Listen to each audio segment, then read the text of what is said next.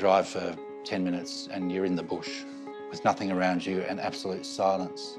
Like, you know, the silence is really quite beautiful. It can be confronting. I mean, a lot of people who come from the city to visit, like it really kind of freaks them out a little bit at first because it is so quiet.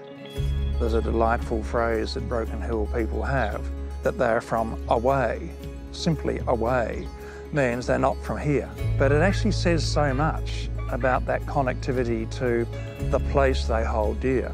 And in every way, they have a sense of ownership, a sense of identity with it. I like going bush and just sitting there. Because when you go bush, mainly on the river somewhere, you see young uh, animals like birds and that, they'll come along and they'll sing out and watch. I'll talk to them and bark in Barkandji language. They'll talk, but we can't understand. But I'll get a lot of work done from this one, that bird singing out and mucking around. And sometimes the emus or the kangaroo will come along. And if I'm carbon and an emu come along, I won't kill it to eat it. You know, we eat emu. But if it come along and want me carb, I'll just, I'll talk to it but I won't get up and hunt it then. I'll go somewhere else and get another emu because that emu that came along, that's a messenger telling me to hold people's spirit, keep carbon. So I just don't kill it. I know it sounds silly, but that's the way I think. You know, when, when you can hear nothing else, all you're left with is yourself. And that, again, is probably one of the things that the environment has been doing to affect the people. We're an isolated place, and it's always evolved of itself. It's, it's sort of like the Galapagos Islands, you know, this isolated group of people in the middle of nowhere um, have just evolved independent of anything else.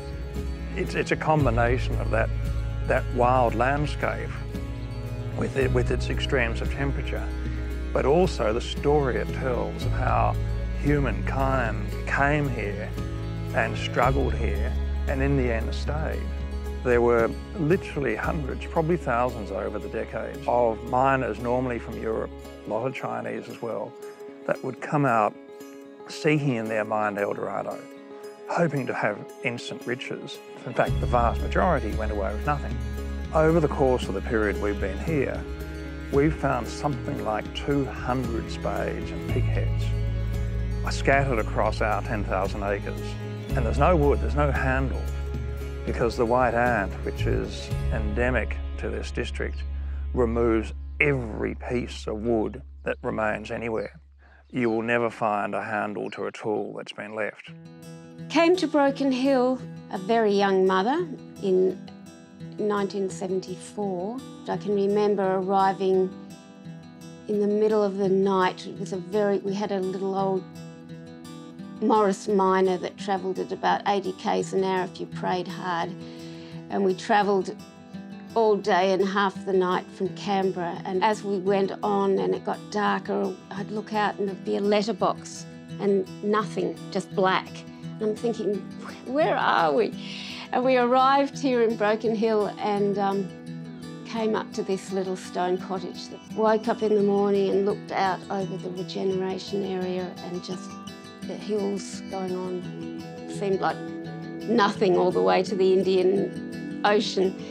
And I, I was hooked, and that was it. And I basically have not left the town since. And I have tried on a couple of occasions, and I couldn't. I felt like I had an umbilical cord connecting me to this place, and I had to come back.